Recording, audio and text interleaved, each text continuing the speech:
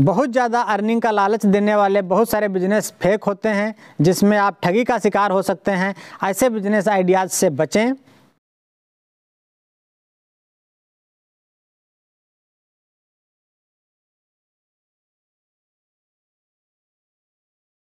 जिससे कि आप सभी लोग दूसरों पर बोझ न बन के आत्मनिर्भर बने।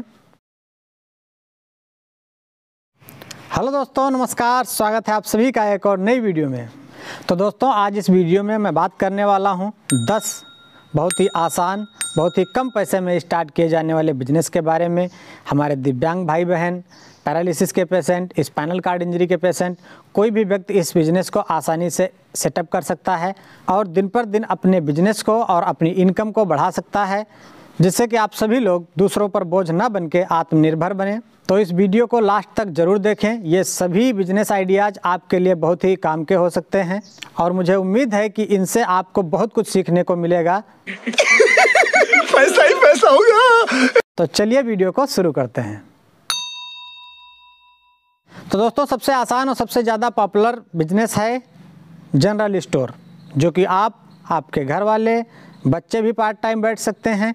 ये जनरल स्टोर आप अपनी गली में, अपने घर में, पास के चौराहे पे कहीं पर भी ओपन कर सकते हैं। और बहुत ही आसान तरीका है, जो भी हमारे पैरालिसिस के पेशेंट हैं स्पाइनल कार्ड इंजरी के पेशेंट हैं, तथा महिलाएँ हैं, उन सभी लोगों को इनमें जो भी चीज़ें बेची जाती हैं या जो भी चीज़ें यहाँ पर मिलती हैं, वो ज़्यादा से ज़्यादा चीज़ें आपको होम डिलीवरी सेलमैन लोग दे के जाते हैं। तो ये सबसे आसान और सबसे ज़्यादा लोकप्रिय है, जो कि ज़्यादातर लोग करते हैं और बहुत ही कम पैसे में भी सेटअप किया जा सकता है। ये आप पर डिपेंड करता है कि आप उसमें कितना इन्वेस्टमेंट करते हैं। ये हुई आइडिया नंबर वन की बात और अब बात करते हैं बिज़नेस के दूसरे आइडिया के बारे में।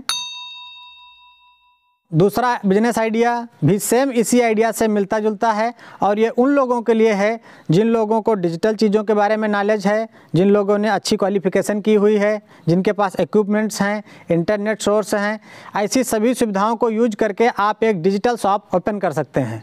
ये भी बहुत आसान है। आप अपने घर के कमरे में, गली में या चौराहे पे कहीं पे भी इसको सेटअप कर सकते हैं। यहाँ पर आप online money transfer mobile recharge और ऐसी बहुत सारी सुविधाओं को देकर अपनी डिजिटल शॉप को बढ़ा सकते हैं। इसमें भी अर्निंग बहुत ही अच्छी होती है। और आजकल की आधुनिक ज़िंदगी में ये बिज़नेस सबसे ज़्यादा लोकप्रिय हैं। दोस्तों, तीसरा बिज़नेस आइडिया है ट्यूशन या कोचिंग सेंटर जो घर पे रहते हैं पैरालिसिस के पेशेंट हैं, उन्होंने अच्छी क्वालिफिकेशन की है, आपको अच्छा नॉलेज है और महिलाएँ हैं या ऐसे जो भी लोग हैं स्पाइनल कार्ड इंजरी के पेशेंट हैं, जितने भी ऐसे लोग हैं, वो आसानी से अपने घर पे पास पड़ोस के बच्चों को ट्यूशन या कोचिंग दे सकते हैं और ये एक ऐसी चीज़ है कि ज्ञान बांटने से बढ़ता है और आप इसके साथ में अपने कमाई के ज़रिए को भी बढ़ा सकते हैं और आप जैसे ही जितना स्पेंड कर पाएँ अपने बिज़नेस को, उसके साथ साथ आप अपने कमाई को बढ़ा सकते हैं, जिससे कि आप अपने घर परिवार को आसानी से चला सकते हैं। दोस्तों, अब हम बात करते हैं चौथे बिज़नेस आइडिया के बारे में। बिल्कुल कम इन्वेस्टमेंट में आप इसको स्टार्ट कर सकते हैं। बहुत सारे लोग इसको पार्ट टाइम बिज़नेस भी करते हैं। आप पास के किसी मेले में, पास के किसी पार्क में, या घर के बाहर, या उसी तरीके से कहीं पर भी कोई शॉप सेटल कर सकते हैं। दोस्तों, अब हम बात करने वाले हैं खिलौने की तथा गुब्बारों की शॉप के बारे में। आपको पता है कि आजकल ये शॉप्स बहुत ज़्यादा चल रही हैं और लोग बच्चों की खुशी के लिए खूब अच्छे अच्छे खिलौने और बहुत अच्छे अच्छे गुब्बारे पार्टी में और बर्थडे में इन सब चीज़ों में ज़्यादा से ज़्यादा लोग खरीदते हैं। ये भी आप आसानी से कर सकते हैं। दोस्तों, अब बात करते हैं पाँचवें बिज़नेस आइडिया के बारे में। ये थोड़ा ज़्यादा इन्वेस्टमेंट के लिए है, इसका अर्निंग भी ज़्यादा है, लेकिन ये उन लोगों के लिए है जिन लोगों को डिसेबिलिटी थोड़ा कम है, और आप अगर अच्छा इन्वेस्टमेंट करना चाहते हैं तो आप ई रिक्शा ले सकते हैं। आप ई रिक्शा चला के आसानी से दिन के चार पाँच सौ रुपये कमा सकते हैं, और दिव्यांग भाई बहनों को ई रिक्शा पर भारी छूट भी मिलती है और आपको पता है कि ये ई रिक्शा जो है बिजली से चलने वाला वाहन है। आजकल गवर्नमेंट भी इलेक्ट्रॉनिक वाहनों को बहुत ज़्यादा बढ़ावा दे रही है। तो दोस्तों, अब हम बात करने वाले हैं कुछ ऐसे बिज़नेस आइडियाज़ के बारे में, जो कि वैसे तो कोई भी कर सकता है, लेकिन खास करके माताएँ, बहनें तथा फीमेल्स इन बिज़नेस में ज़्यादा रुचि रखती हैं और उनके लिए ये ज़्यादा आसान भी हो सकता है। तो हमारा छठा बिज़नेस आइडिया है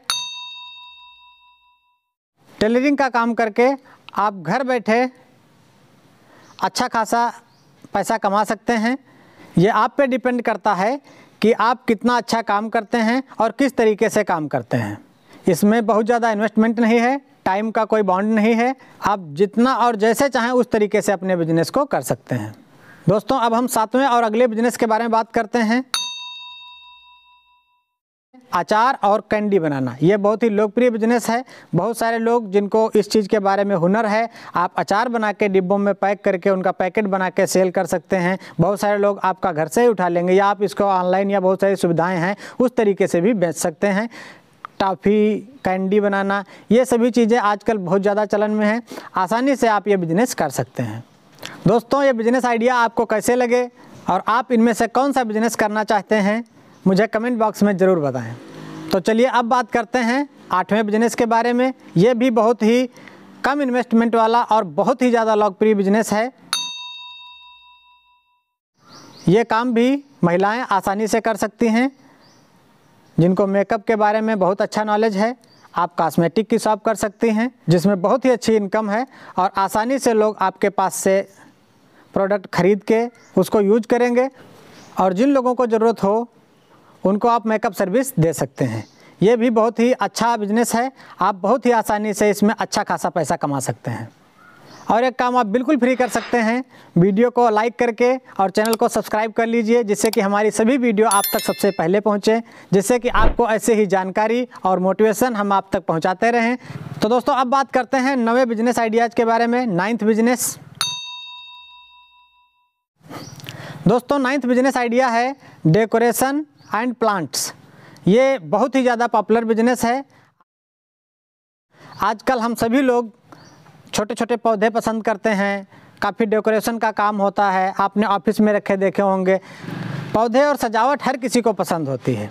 और ये बहुत ही ज़्यादा लोकप्रिय है। बहुत ही लोग इसे पसंद करते हैं और बहुत ही अच्छा बिज़नेस है। इसको आप कम कॉस्ट से भी स्टार्ट कर सकते हैं। और जैसे जैसे आप बिज़नेस को एक्सपेंड करेंगे, उसी तरीके से आपकी अर्निंग भी एक्सपेंड होती रहेगी।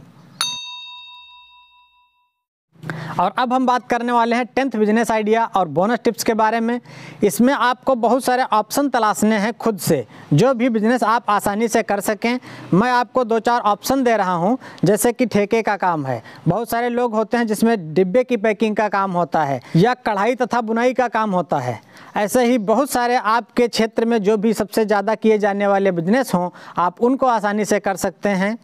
दोस्तों, ये सभी लाइफ टाइम और जेनुइन बिज़नेस मैंने आपको बताए हैं।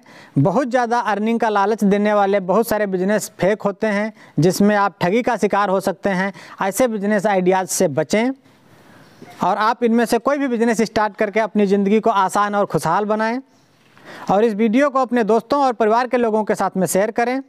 ये वीडियो आपको कैसी लगी, मुझे कमेंट करके ज़रूर बताएँ।